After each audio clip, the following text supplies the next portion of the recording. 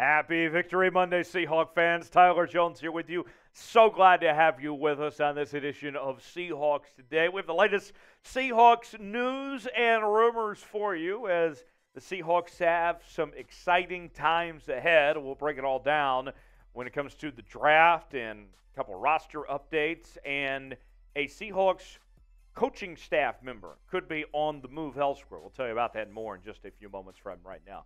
Boy, did we have a great time on the watch party on Sunday. It was an electric factory around here. And if you're not subscribed to the channel and you're missing out on these watch parties, I mean, what are you waiting for? Sub for playoff dubs. If you want the Seahawks to keep on winning, you want them to charge all the way down to the Super Bowl, I need you to do your part. Subscribe to the channel now if you love this team and you want daily news and rumors, our live shows on Wednesdays, watch parties, and more. It's all in one place right here on Seahawks Today by Chat Sports. Doesn't cost you a thing. Subscribe for free. YouTube.com slash Seahawks TV.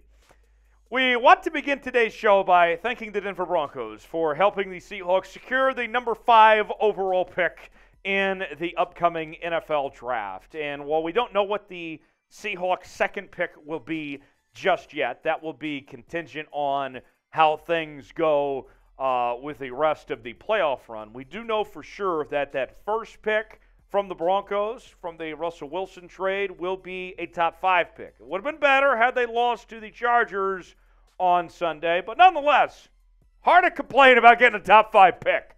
So, with that, I know it's still early. We got a long ways to go in this whole draft process.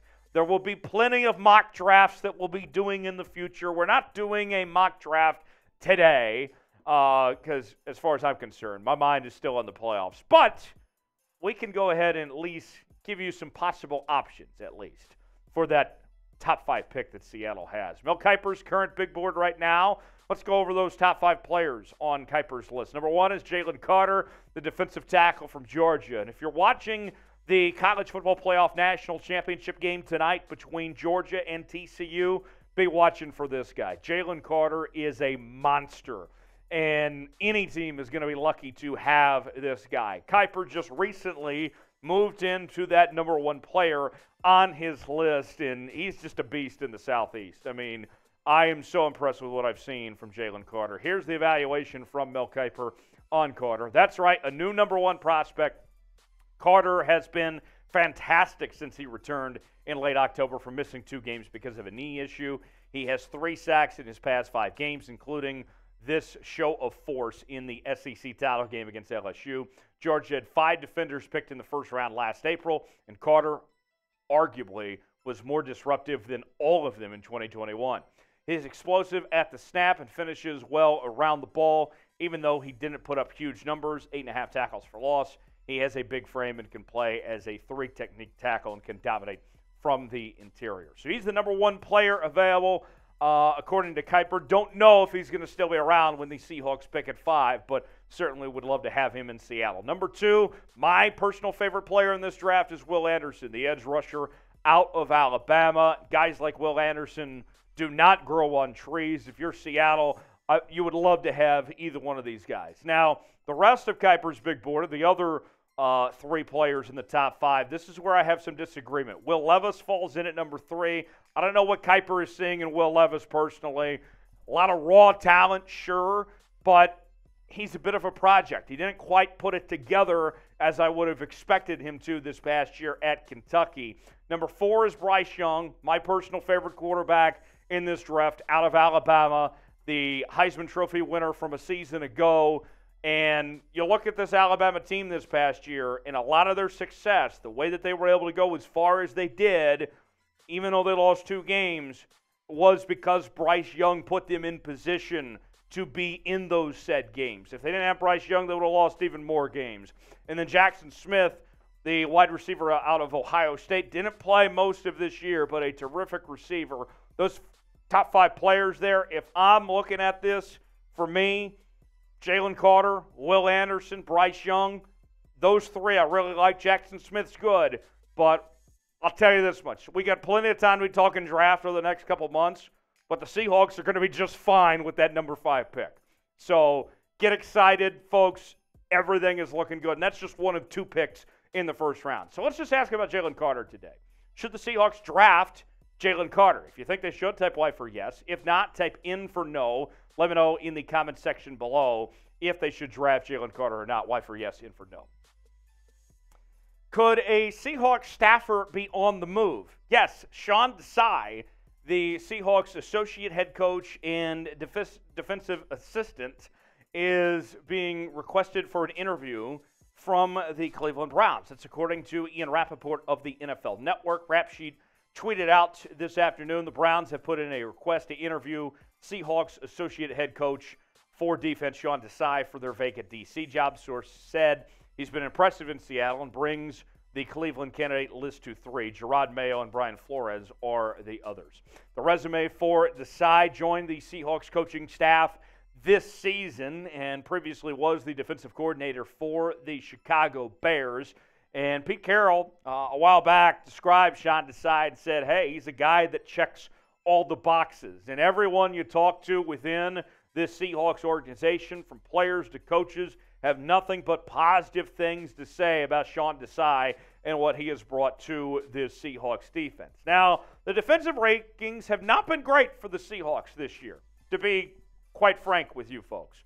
We're looking at a team that is giving up about 24 points a game, 25th best in the NFL, giving up a lot of yards, a lot of points per play, uh, but also yards per play is about 5.5. You can see none of those four statistics, they are within the top 19, that they're in the bottom half in the league in all those categories. But what the numbers don't tell you is the full story of when this team came along that we saw just even yesterday with what they were able to do to shut down the LA Rams for the most part of how how well this group is now comparably speaking to what they were previously. So, how would you grade the Seahawks defense this year? Get out those red pens here on Seahawks today and tell me how you would grade what this team has done so far in 2022 on that side of the football. A, B, C, D, or F. Let me know how you'd grade the Seahawks defense. Today's show is presented by BetUS, the exclusive sportsbook partner of Chat Sports. Go to chatsports.com slash bet, enter the promo code Seahawks125. You will get a 125% deposit bonus. Put $100 down, you can get $125 to spend for free. Seahawks are big underdogs already against San Francisco coming up on Saturday. We'll preview that game later in the week. Tonight, I like TCU and the points. 12 and a half the underdogs are the Horned Frogs. I think the play here, if you're looking for bets, there's a free one here for you. I like the over because uh, life's too short to bet the under. And I like TCU plus 12 and a half. Georgia, I think, wins the game, but you're not going to get any value betting money line, so don't worry about that. Get your bets in now. Chatsports.com slash bet, promo code Seahawks125.